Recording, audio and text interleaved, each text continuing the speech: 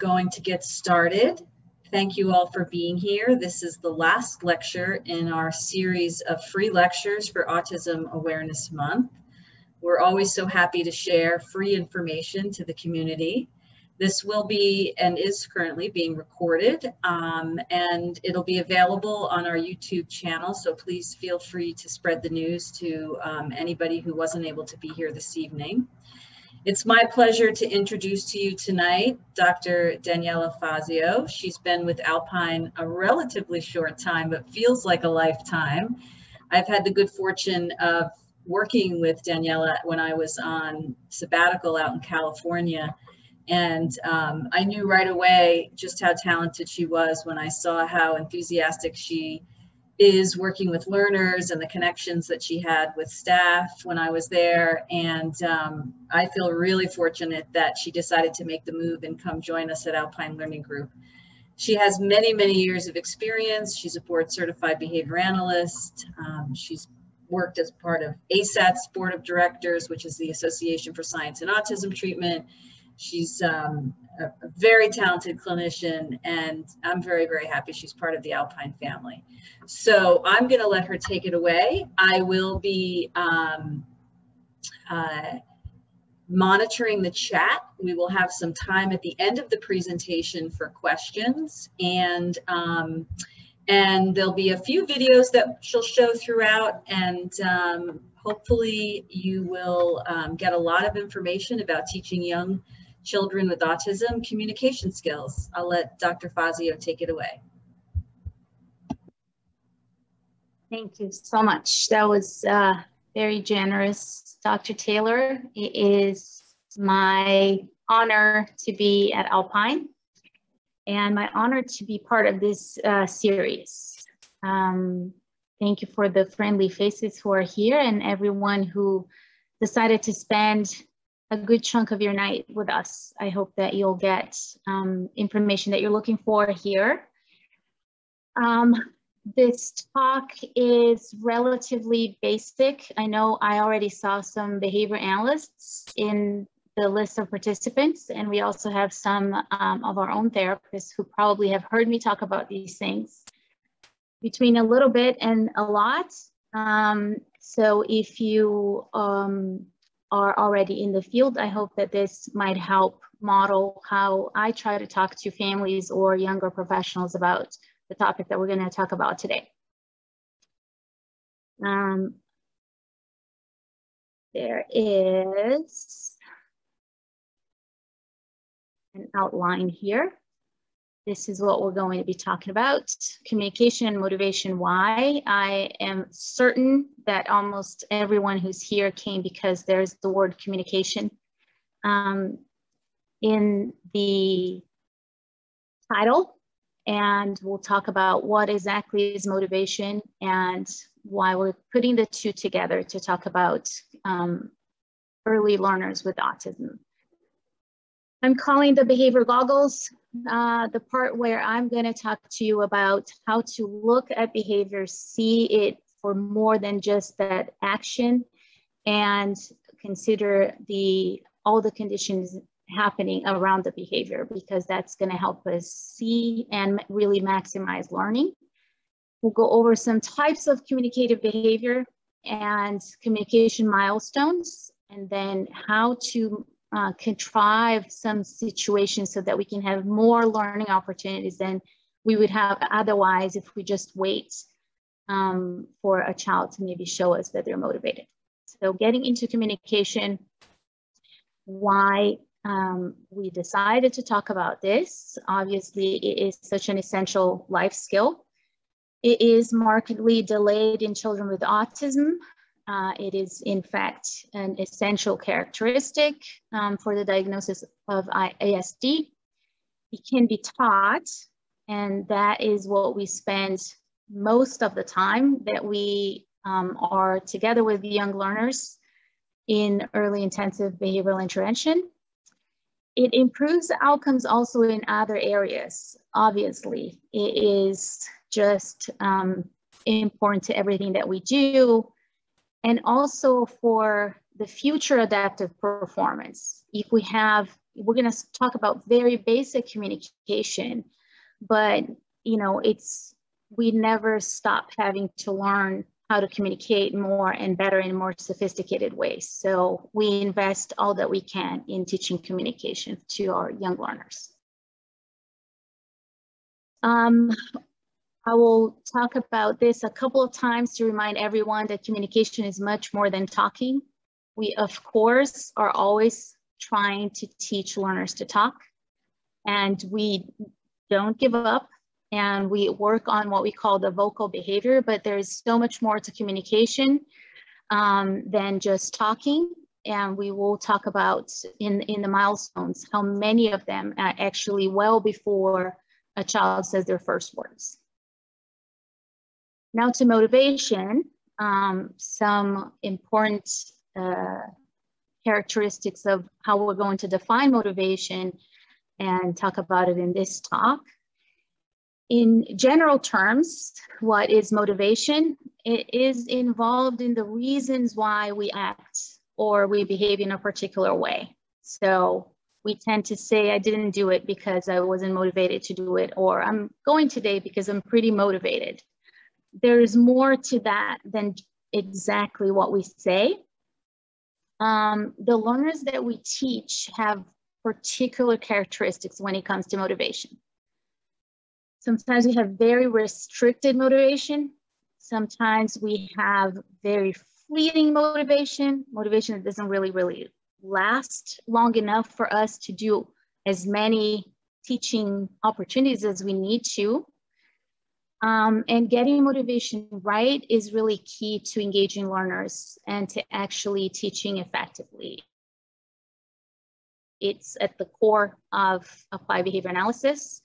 And uh, we would be talking about motivation even if we weren't talking about early communication skills, but because we are, it is that much more important to really understand what motivates and what we can actually do with the motivation that we have so that we can maximize learning. So motivation, I'm gonna call it a condition and I'll have a few slides that will really drive this point home. It's pretty transient and it is affected by many variables. Some of them we're going to discuss. So this is to say that I might be motivated by something, but kind of the degree of motivation varies a lot. And it is manipulable, it's teachable. So you might identify motivation occurring, and we need to do this for our young learners. I I believe I'll say several times throughout the presentation, we need to meet our learners where they are. And, um, but we can also teach motivation. So a lot of what we're gonna do is put, see motivation where it really belongs and how it's going to motivate children to actually engage in the communicative behaviors. I like to make the distinction, it's not an inner force. In our kind of common language, we tend to say that a lot, like, oh, if they really wanted, they would do it. Or I just, you know, it's just not in me. And I want to talk about motivation as something that is, it depends on the success of some behaviors in the environment. It depends on uh, what we're calling motivation and it's it's not in there waiting for it. We can actually um, do a lot to motivate, even if it might appear that in there that you're not motivated. And it is not constant. So moving to the behavior goggles, I like to use behavior goggles because it's kind of a quick way to say, oh, put them on. And now when you're looking at a behavior, you're no longer just seeing that action let's say a child saying a certain word, what you're seeing is everything that happens around that behavior to make that behavior happen or not happen, or when it should happen, when it should not happen.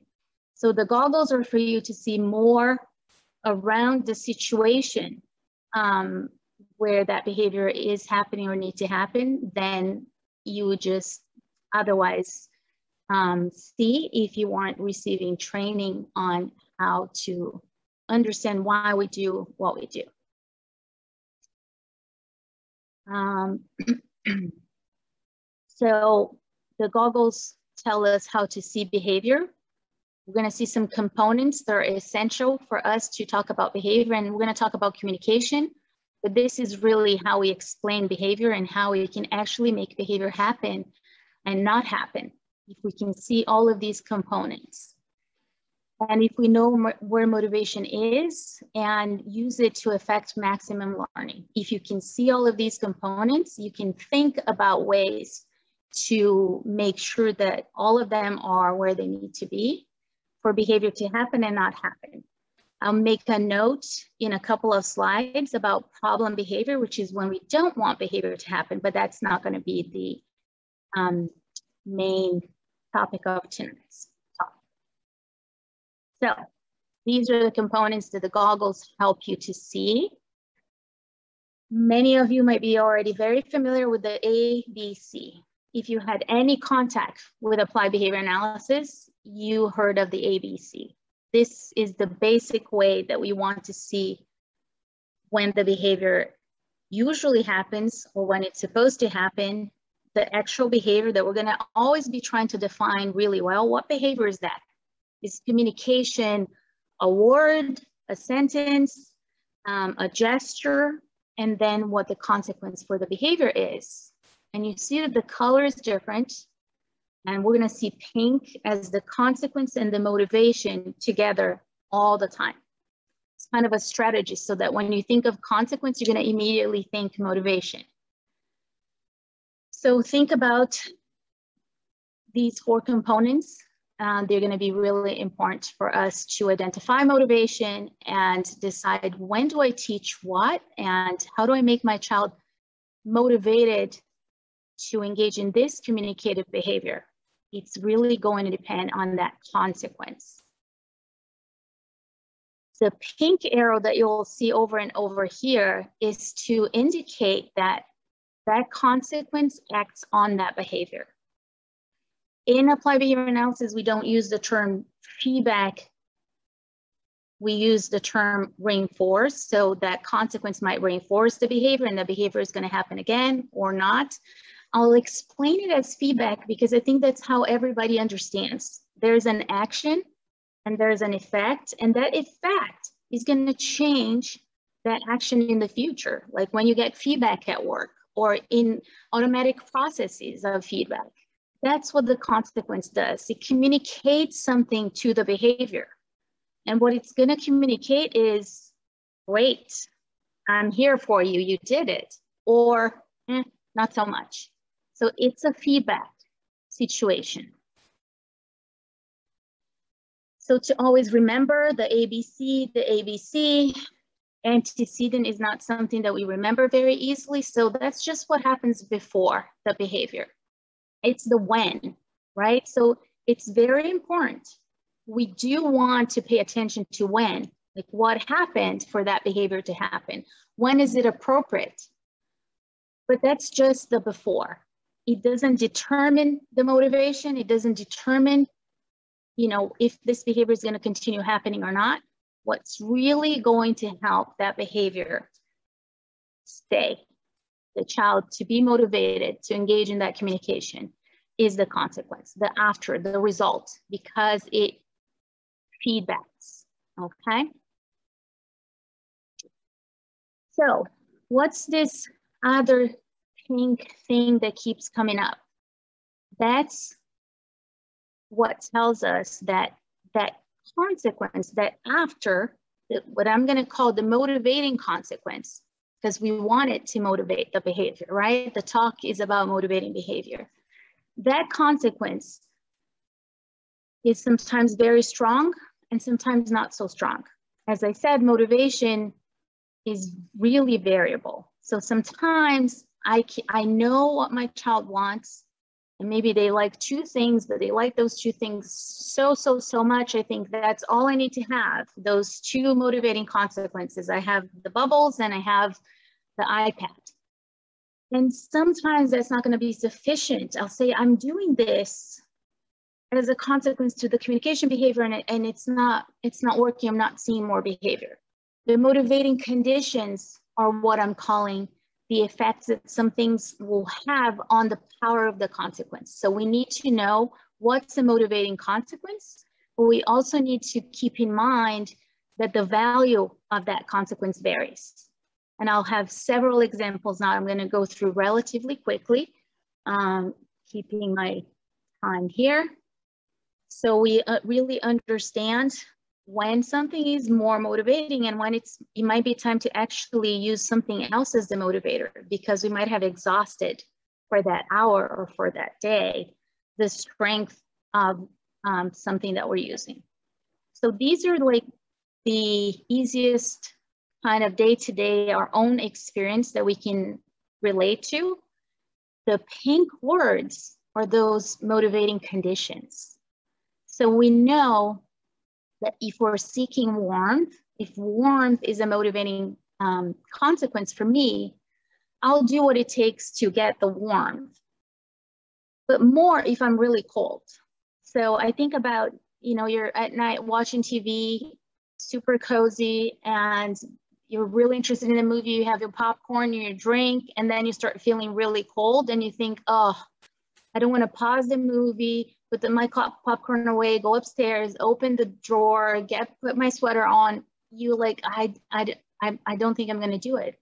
Well, if you're really, really cold, that warmth is going to be that much stronger in terms of motivating all this behavior that I just said you have to engage in to get your sweater on. This is all to say you're going to do more if that motivating consequence is stronger and it is stronger based on something, some condition. So cold, hunger, thirst, loneliness, tired, like satiation, right? If I just had um, a big, big, big glass of water, there isn't that much I'm going to do to get water. So this is just a, a, a general non young children communication examples to help understand that how the strength of those motivating consequences can change. And we need to, and, and for our learners, I think it changes that much faster. Sometimes you think, oh, yay, they really, really want those chips. And after two chips, that's it, no more. So I need to really be reading their kind of body language and behavior to make judgments about the strength of that consequence, the motivating consequence at all times. So I just said, I'm, I have the visual now. I, if I'm cold, I'm going to do more to result in the warmth. So anything that brings me warmth when I'm cold, I'm motivated to do, right? So that's motivation to behave. It's not motivation to get warm because as we start talking about what the kids really want, and sometimes it's candy, sometimes it's iPads, sometimes it's things that I hear a lot from parents, I don't want them to just have that. My mission is to say, if, if that's what is a motivating consequence, that's where we're at. So we're going to use that because that's going to motivate behavior. And once behavior starts happening, it contacts other things in the environment. I might be learning to communicate just because I really, really, really want that iPad, but eventually I'm going to see what kinds of all different things communicating gets me. If I'm hungry and I see the cookie, I'm gonna do a lot more to get that cookie because I'm hungry. So the, the middle um, square there is always the behavior, right? So we're gonna start seeing what kinds of behaviors. Now, if I just ate and I'm full of cookies and I feel really cold and I see the cookies, that's not, it's a motivating condition, right? We just saw that I'm like, I'm all for the cookies. I'm gonna talk, I'm gonna walk, I'm gonna open. But if I'm full of cookies, is that cookie gonna be a strong motivating condition um, consequence for me? Not so much. So we have the task to identify what are motivating consequences and to use those consequences at the right times because different conditions in our environment will change the value of um, that motivation. I hope you're still all with me. Now I'm full of cookies and I'm kind of cold and I might be also be pretty thirsty. So in that case, if I thought, oh, I'm still here giving my child cookies, you know, ask them to say cookies because Nicole said that's our target. Well, I have a child full of cookies now and really thirsty. So I think what's going to really be motivating at this point is water. Or I'm just going to watch. Are they still even trying to reach for the cookie? Did they just turn around and like walk to, uh, walk to the kitchen at some point? So trying to understand what they're probably looking for right now is going to tell me what should I be using as a motivating consequence and what behavior I'm going to work on right now for that communication will have to do with that motivating consequence early on in teaching. I have a couple of examples in case we're not, you know, in the shoes of the children we're teaching right now that might help understand for the parents. I have a parent who has a rule of no electronics during the evening. So the behavior right in the middle there is the behavior we're going to be trying to um, motivate the parent to do, right? So the kids ask for the iPad after dinner and I'm not going to do it. So I know what I need to do. I'm going to offer two toys. I'm going to teach them how to play with these toys. They're educational toys. We're going to have 30 minutes. What's the consequence there for my behavior as the parent? I feel great. I follow through with my role. That for me is huge if I could only follow through with all my roles for myself, I'd be great. And the kids are learning how to play. They play with educational toys. So that consequence really motivates me to put in that extra effort at the end of the day and say no to the iPad. It's very important to me. I will be motivated to play and you know insist with them that they'll play the, with the toys and not the iPad. But here's a day where I homeschooled three kids. I fed them three meals, went through two temp temper tantrums, had a fight with a neighbor about the car in the driveway. The kids asked for the iPad. Remember, I'm motivated teach them how to play with the educational toys. But that consequence right now is really weak because I'm exhausted I don't know if I have it in me to say, no, we're not going to play the iPad. We're going to play 30 minutes of educational toys. So it's not that I'm not motivated to play with the kids, is the exhaustion of the day has changed the value of that consequence at this point for me. Okay.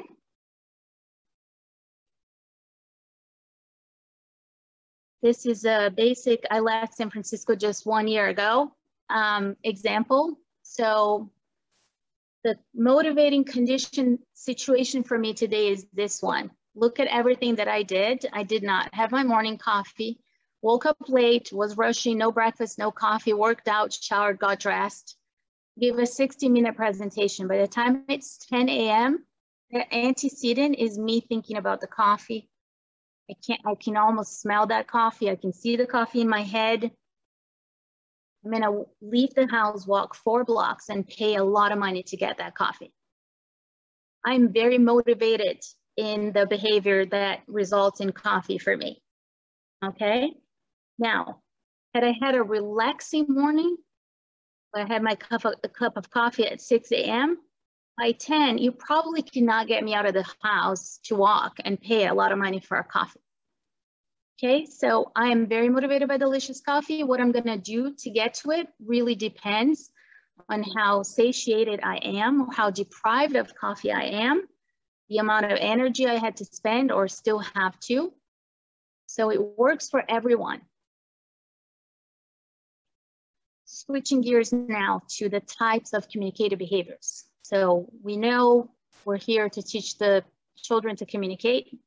We know everything about motivation right now. That consequence is really important. I need to read the child to see what they're interested in. And I need to consider, is this the best time to put this motivated contingency in the line? And are they going to do something for it? So what am I going to teach in terms of communication? There are many here. We're gonna focus on the request. And I'm also going to give examples of how we can turn all of the other ones into requests. Why? because the request is the closest one to really hitting that motivation. So if early on I can make more things happen that the child wants, I'm working on all of these behaviors. They all look different or sound different. Some are actually about even understanding communication, but they're very linked to motivation. I'll make that note about challenging behavior right now before I go back to talk about these repertoires. Just because challenging behavior also communicates um, information about motivation. They communicate wants and needs. Motivation can be inferred directly from challenging situations, in fact. The goggles work just the same if the behavior was mommy cookie or if the behavior was a big temper tantrum. They inform us about what's valuable and what motivating consequence is important in this situation. So just as we would identify the motivating consequences, apply them to communication behavior that you want to see. Don't apply them to communication behavior that you don't want to motivate. How, how do we do this? Behavior that happens when something is taken away tells you a lot about what's valuable and important for that child. That item that you just took away. Behavior that happens when something is denied to the child tells you about the child's level of motivation for that item. And behavior that happens until you attend to it also tells you something about the degree of motivation of this child by your attention, attending to their behavior. So just an aside that we're gonna talk about the communicative behaviors that are um, adaptive, but if you have problem behavior, they are also communicating to you um, a lot about motivation. So let's go back. We're gonna talk again about these requests. And we're gonna talk about different behaviors that our communication and we're going to make them all work in sort of the highest motivation situations, but we're going to try to see if kids will repeat what we're saying, if they're going to do something that we ask them, and so on. I'm going to start with the requesting because that's the star of tonight's presentation. And what motivating condition is going to make requesting um, the strongest. It's wanting it. Okay, so when I'm trying to teach a child to request, this child needs to want it. Sometimes it's difficult to know what they want. So we're like, here's all the things that you like. You know, tell me which one you want. And sometimes it still is not what they want. So we're going to be always on the lookout for what are they seeking? You might need to show them a few things and see what do they actually approach. And if they take it, do they even keep it or do they just, just toss? It happens all the time. So to teach to request, I will see that a child actually saw the cookie and is trying to approach the cookie, take the cookie, steal the cookie, can't keep their eyes off the cookie. And that's a good time to teach the child to maybe say the word cookie if they can already say. Giving the cookie when they say cookie is going to teach them to be motivated to say cookie when they want the cookie. We might be talking about a sign. You can also sign cookie. Whatever informs me at this point, wherever this child is at, that they just told me I want the cookie. And we're gonna look at those communication milestones and talk about what other behaviors tell me what the child wants. Um, I might also be teaching the child to repeat, and I'm going to put this in the contingency of you're motivated by something, you're going to get what you're motivated for. But the behavior that I asked for you is actually to repeat what I said. So I'm training repeating in the same context of, oh, I identified the motivation, here's the behavior that I want. So if the child is looking like they want the cookie, I'm going to say food. The child says food and they're going to get the cookie. Okay? Um, I might ask them to repeat other words. So if they already learned to say cookie, I might start varying what it is them teaching. So it might be, mom says yummy, say yummy, and they say yummy. There's gonna be feedback there. Hopefully they're more likely, they're motivated to repeat what I say because at the peak of their motivation for the cookie, I said, say yummy. Fill ins, short words, high motivation. In this example, dad is playing with a child physical play, up and down, up and down. At some point, kind of stops and looks at the child to see if the child, does it look like they want more or they're like, just, you know, put me down looks like they want more. Dad might say up and, and wait for the child to say down. So the child has just requested down, requested to continue the play by filling in. So if the child already has this repertoire of filling in, this is a great strategy to use the motivation to get them to communicate, to ask. Labeling. So we already taught them to say cookie. We already taught them that cookie is food. We already taught them mm, it's really yummy. They can repeat. I might be using the highest motivation of the child to now teach some other things. Color, for example. So the cookie might even say cookie. I'm like, they really want this. We're working on color, so I'm gonna say what color. When they answer, then they can get the cookie.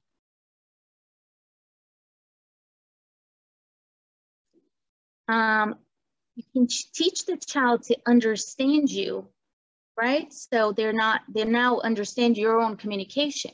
So same story, dad is doing physical play. They tickled a little bit. It looks really fun. The child looks like more.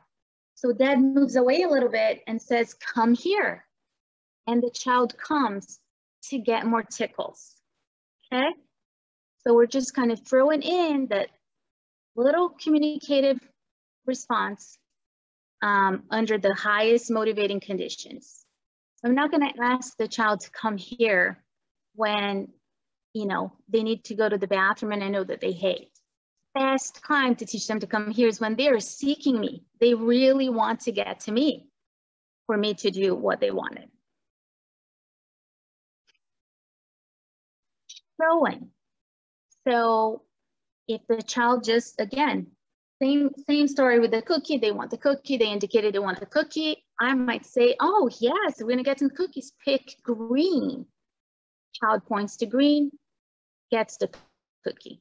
So teaching the child, again, they communicate to me and they can understand communication all using these highest motivate, motivating consequences and conditions.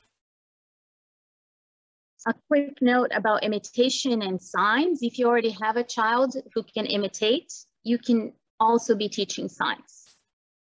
I want to reassure usually parents, we're not giving up on the vocal behavior, but we should not wait for a child to be able to produce words to teach them communication.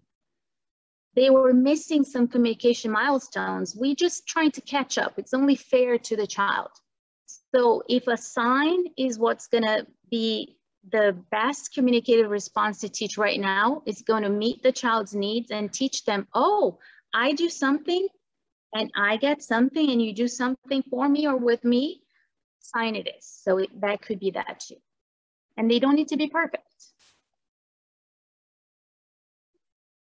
Next to communication milestones, just to talk about, um, again, so what kinds of communication behaviors are we teaching? I kind of exhausted them from the literature of verbal behavior. So for those who obviously recognize, these are the most basic communication behaviors and some of them are vocal, some of them are not. I'm gonna go through a little bit of communication milestones to again emphasize there's vocal communication and there's non-vocal communication. They're all verbal because they're communicating with someone else. We call them the verbal community and there, there is feedback to that communicative behavior. Talking and much more than talking. Before um, children learn, like, uh, learn to talk, as babies, they engaged in many communication behaviors that developed slowly into more sophisticated behaviors naturally. I want to qualify what naturally is. It just means in response to the natural consequences. The principles are the same. There was motivation, then there was a consequence, and that was feedback to the, the baby's behavior, and the, the baby did that again, and that consequence happened again, and then they learn. The only difference here is that for us, it takes extra, extra additional effort to teach. The level of motivation might not be the same. So our children maybe miss some of these communication milestones because the natural consequences didn't really, they weren't strong enough to affect our behavior or there weren't enough that were actually motivating. So we're just gonna make them happen. So we have to target those behaviors so they can develop into more sophisticated communication. Um, and we'll take a look at um, zero to one, a lot of non-vocal behaviors and early, early vocal behaviors that are part of the communication milestones that we want to be teaching. This is from the American Speech Language and Hearing Association. There's a big table here, but I'm gonna break it down. So this is the communication section there left is um, receptive communication, so what the children would be understanding, and on the right is expressive. Just to see how much communication is going on before the first words. Okay, I'll go relatively quickly through them, but like getting quiet when you listen to, it, when you hear a sound, um, smiling at people is an early communication skill so I can use motivating consequences for that too, right? A sibling did something really nice. My, my, the child I'm working on smiled. Wow, here's a motivating consequence. This is great communication behavior because something I'm not gonna go into detail because we just have one hour is if you see the behavior happening already, throw that motivating consequence there right? It's not only when we set up or we're like following the child to see what they want. You're gonna have many opportunities throughout the day that to identify, oh, they just looked at me when I said a word. I remember Daniela saying that's an early communication milestone. I want to have a motivating consequence to give to this child right now. Seven months to a year. So see on the right, the first, like one or two words are starting to happen, but for a lot of children, not even yet. Playing social games is part of communication. And here are some examples from the Alpine um, curriculum. You see that almost all of them start with request because again, if we're emphasizing uh, motivation so much, we're going to want to work with the requesting. Looking at an adult is a great communicative response. Looking at requesting by looking at the item. So if the adult's present, looking at the item might be enough to communicate to the adult, oh, that's what you want. It's a really, really early learning skill, but you can see how it is communicating to the adult what the child wants and it's communicating to the child that when you look at something I see it. You just told me something. Leading adults to items. For some of the learners we work with, this happens sometimes inadvertently and they're already doing that. And it's time for us to go to the next level. But if they're not, this is a good way actually for them to really see that they can tell us what they want and we can make it happen for them. Requests by giving items. So here, put the item in your hand to indicate that that's what they want. Making choices. I should have left making choices at the end because um, more often than not, we try to give children a lot of choices when they're not really even ready to kind of scan all of the options. They don't know exactly how to choose. Like, do I point? Do I grab it? So making choices is a really important way to request, but there is some other behaviors that we need to teach. So to rely on real choices, um, one of these days we can have maybe a talk all about which, which kind of milestones to really being able to choose over um, an array of items might take. Requesting by name, so hopefully at some point they'll get to the, you know, request items by the name of the item. Not to forget that we also need to request for things that we don't want anymore, breaks, um, or we can ask just for more or more time for something. We usually don't want to teach more before we teach a lot of labels. Otherwise, you kind of learn one word and then you don't have to do anything else. So this is um, just a, like a quick note on teach as many different labels as you possibly can. Um, requesting help and teaching learners to seek assistance, really important, and requesting attention. Remember when I mentioned some problem behavior happen until you attend to it? Attention is very powerful. And even after the child can already maybe request a few things by name or even by, you know, leading, if they can actually request my attention so then I look and they can show me all of the other communicative responses. That's a, really important um, milestone too. So these are just examples of things we teach early on um, to all young learners. So communication and motivation, great. We know all about motivation now. We know the communication responses that we want to teach but I have a child that doesn't really seek a lot of things or is not saying too many things. How do I make more of it happen? We have a technique that we call contriving. So we just dig for these opportunities. We plan, and I call it we plant. So you plant cues in the environment there that will motivate the child, but they can't really obtain them until there's a communicative response in there ideas uh, that you might want to try. Start and then stop. Any preferred activities, just like the dad in my example was tickling or, you know, jumping up and down with the child. Give the child a toy or an activity that they can't operate. Wind up toys are excellent for that because they're really difficult to do if you have little hands um, and they're super fun. Place an item in a closed container, maybe a clear container where the child can see it's in there, might really motivate them to ask for help or ask for open. Remove a piece of an activity so that to complete it, the child will need to request that. Maybe give one and wait. This cannot be understated. How much we see that, oh, um, great, they just said cookie. Here's the, the little single serve of cookie. Well, there are 10 little cookies in that bag. We can get 10 word cookies. So give one and wait. They might look at the item for more. They might look at you, whatever it takes. You can, you know, contrive more of these.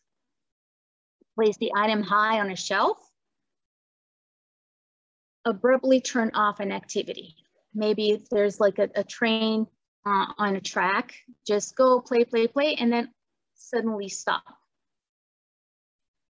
And or slow down and wait expectantly. I put the wait in caps there because it is really important these situations to have this kind of pause where you're there and the child has to realize, oh, something stopped, something happened.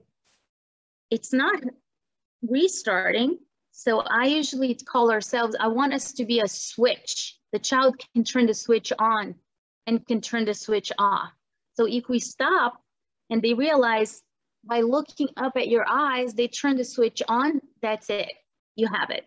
This pause can not be over uh, understated in, in this type of communication training. So I will show you four videos that I think are in a good sequence of these early milestones. For um, the first child is a simple response to look up at Dr. Taylor to continue jumping. And the last child we're gonna see, I can guarantee that when that child started intervention, this is as advanced as it was by looking up.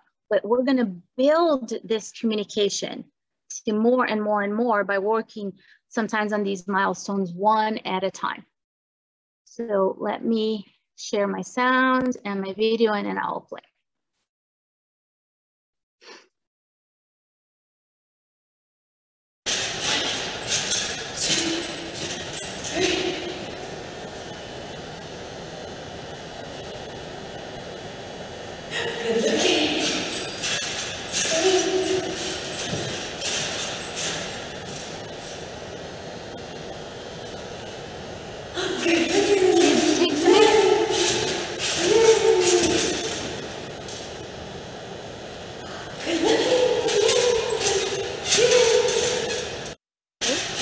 So if for a long time here, the motivating value would go down, right? So she's not waiting five minutes to stop. She's just going a few seconds and then stopping because his motivation is still pretty high.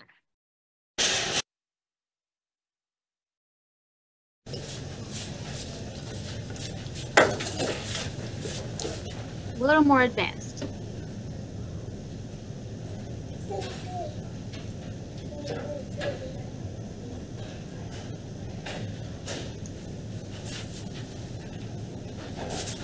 Look up and leap.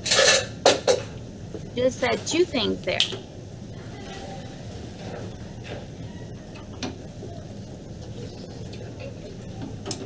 There's a there's a rogue uh, skittle there that was not supposed to be there.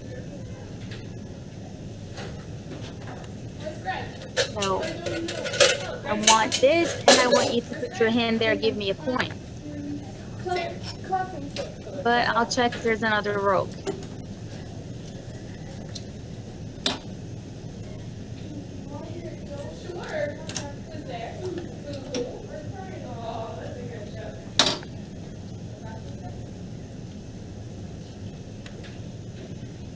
How hard he's trying. I'll point, I'll lead your hand, and more and more and again. And then there he goes. He got all of his Skittles.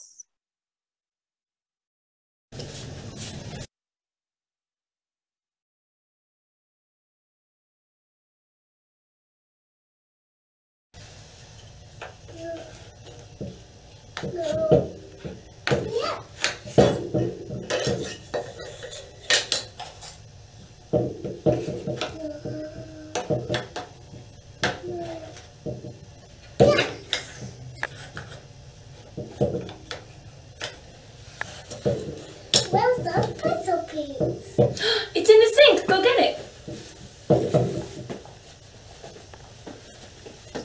Okay? We have a lot of activities that the kids want to do and they want to do it until the end. So this is perfect for that. Now it's getting more and more sophisticated. Baby.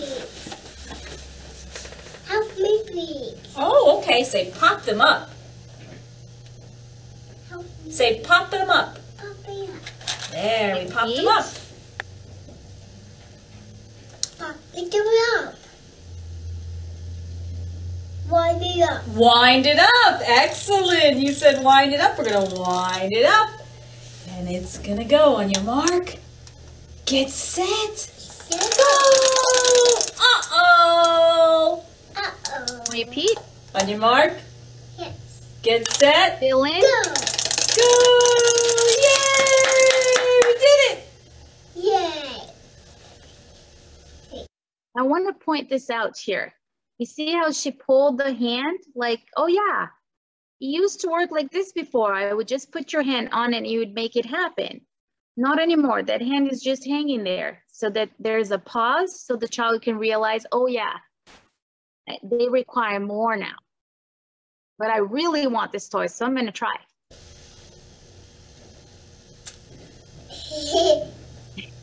oh, baby. Say pop them up. Papa, look. Okay, we're going to pop them up. We popped up the pins. Wind it up, please. Oh, thank you for saying wind it up, please. Can you fix your legs, please? Crisscross. Sure. Sure.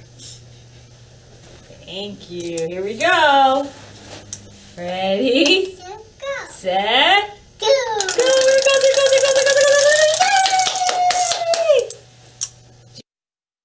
Sit. Okay. So it started with just a look for a handful of candy or jumping on a trampoline for another few seconds. And then it becomes something this beautiful. Um, and this is a, a whole, you know, several minutes of teaching just because she really wants to play with that toy. So the, the motivation is still high. After maybe playing three or four times, she might not be super interested in this toy anymore. But for as long as she is, we're using the fill in, the repeat, pop them up, looking up, try my hand. So there was tons of communication in just this short interaction.